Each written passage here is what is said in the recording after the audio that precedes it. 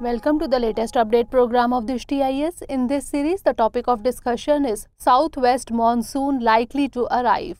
According to the India Meteorological Department, that is IMD, the southwest monsoon is likely to arrive a week in advance over South Andaman Sea.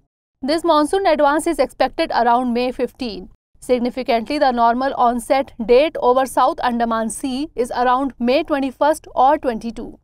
The behavior of cyclone Asani is also being factored in to assess the flow of monsoon winds in the South Andaman Sea. Now let's discuss what is southwest monsoon.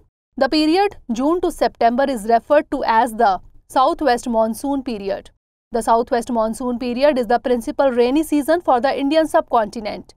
This is the summer monsoon period where the southwest monsoon holds away over the country. The whole country receives nearly 75% of its rainfall during this period. Southwest monsoon sets in over the extreme southwestern tip of the peninsula by the end of May. The onset of monsoon is characterized by a sudden spurt of rainfall activity. It progresses inland in stages and covers the entire country by the middle of July.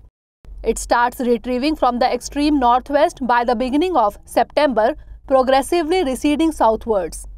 Tamil Nadu is considered as a rain shadow region as it lies on the eastern, that is leeward side of Western Ghats. Dear viewers, Watch this topic in Hindi on our Drishti IAS Hindi YouTube channel.